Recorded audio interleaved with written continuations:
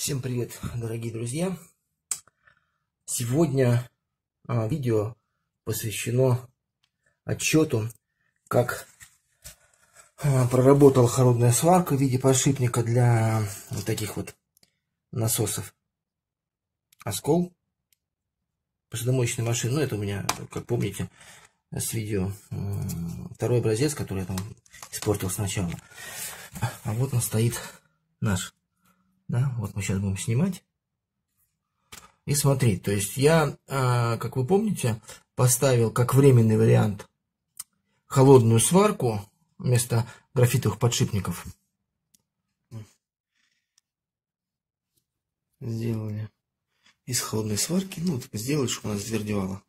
Вот что у нас получилось. Затвердел. Холодная сварка. Высрал я 5 миллиметров отверстия.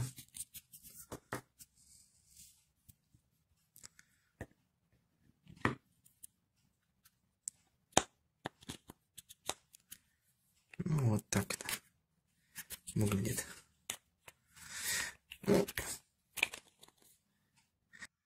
Ну, вот прошло а, время, то есть это получается с момента установки прошел год, ну там плюс-минус сколько-то. А, времени в летом, то есть три месяца машинка работала в режиме один раз а, в день, а, двухчасовой режим, а начиная с сентября, так как детей у нас много, в режиме два раза по два часа. То есть в общей сложности получилось, ну, если так округленно считать, то это где-то примерно там, там в районе 350, там если округляем, ну, в районе 700 циклов. Ну, 650. Если умножать на 2 часа, ну, где-то порядка 1300 часов.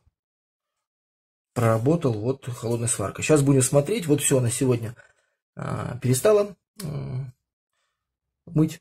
Сейчас буду смотреть, снимать и а, показывать, что в итоге а, получилось за эти 1300 часов.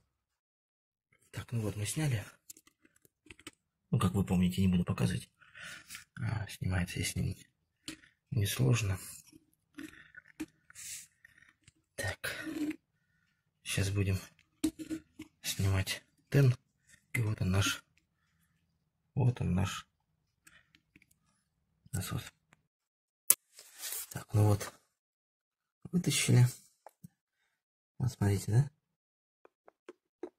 Видите люфт? Люфт есть. В общем, сейчас будем снимать, разбирать и смотреть выработку. Мы сняли. Не помните, да? Щелочку.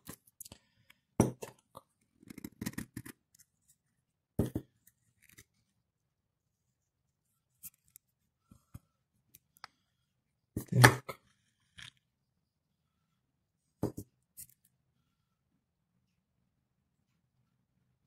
Ну, я бы сказал так.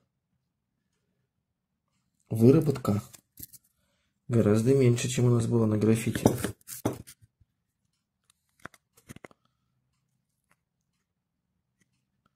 Она, конечно, есть. Основная выработка идет не вот здесь, не ближе к насосу, а ближе к, э, к самой крыльчатке. Смотрите. Вот видите, Здесь разбитый. В принципе, на граффите абсолютно так же разбивается. Вот так она стоит с той стороны, да, снизу. Сюда вставляется. здесь смотрите, видите, на граффите тоже выработка основная здесь. Хотя все равно, конечно, на холодной сварке она визуально меньше. Так, ну что, сейчас, как говорю, будем ставить латунную и уже запускать на постоянку. Ну вот, машинка работает на втором режиме. А этот запасную деталь я оставлю в запас. А, выбью холодную сварку. Сделаю еще раз, чтобы был. И буду хранить. А, вот все, что я хотел сегодня рассказать. Всем спасибо за то, что посмотрели. Кто хочет, ставьте лайки, подписывайтесь, оставляйте комментарии, может, какие мысли у кого появились. Всем пока.